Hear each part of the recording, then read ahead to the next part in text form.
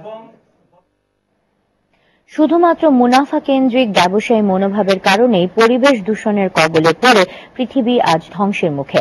এমন পর্যবেক্ষণ ডক্টর মোহাম্মদ ইউনুসের। তাই পৃথিবীকে বাঁচাতে ট্রিপল পি তত্ত্ব দিয়েছেন তিনি। তার মতে, প্রফিট, পিপল এবং প্ল্যানেট নিয়ে কাজ করলেই পৃথিবীকে বাঁচিয়ে রাখা সম্ভব। পাশাপাশি বিদ্যমান অর্থনৈতিক কাঠামোকে অচল দাবি করে সামাজিক ব্যবসাকে আদর্শ বিকল্প হিসেবে উল্লেখ করেন শান্তিতে নোবেল জয়ী এই অর্থনীতিবিদ।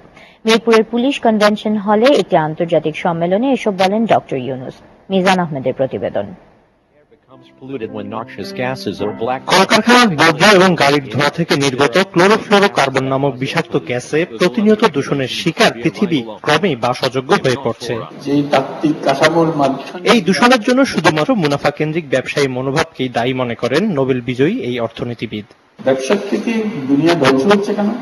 হচ্ছে যেভাবে আমরা কলকারখানা করছি তার দুনিয়ার ফলাফল কি হবে দুনিয়ার জন্য এটা কি হবে এটা মোটেই আমরা বিবেচনা করছি না। আমাদের এই কলকারখানার থেকে যত রকমের ফায়দা উঠাতে পারি ব্যক্তিগত ভাব প্রতি আমরা চেষ্টা করি। চিন্তাধারার যে কাঠামোটা আছে সেটার মধ্যে- এমন সব গলদ রয়ে গেছে যে গলদ তাড়াতাড়ি সংশোধন না করলে আমরা নিজেদের বিপদ নিজেরা ডেকে আনব।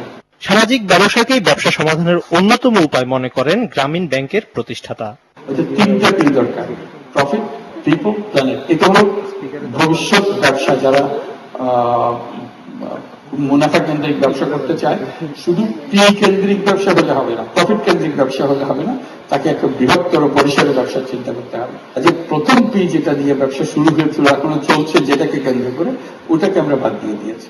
আমাদের কাছে আছে মাত্র দুটো পি পিপল এন্ড দ্য প্ল্যানেট এর আগে ঢাকা ইন্টারন্যাশনাল ইউনিভার্সিটি আয়োজিত সোশ্যাল বিজনেস একাডেমিয়া দু শীর্ষক আন্তর্জাতিক সম্মেলনে কানাডা ভিত্তিক সেবামূলক প্রতিষ্ঠান হেলথ ব্রিজের দেবরা ইফরমসন নারীর ক্ষমতায়নকে সামাজিক উন্নয়নের পূর্ব শর্ত হিসেবে উল্লেখ করেন।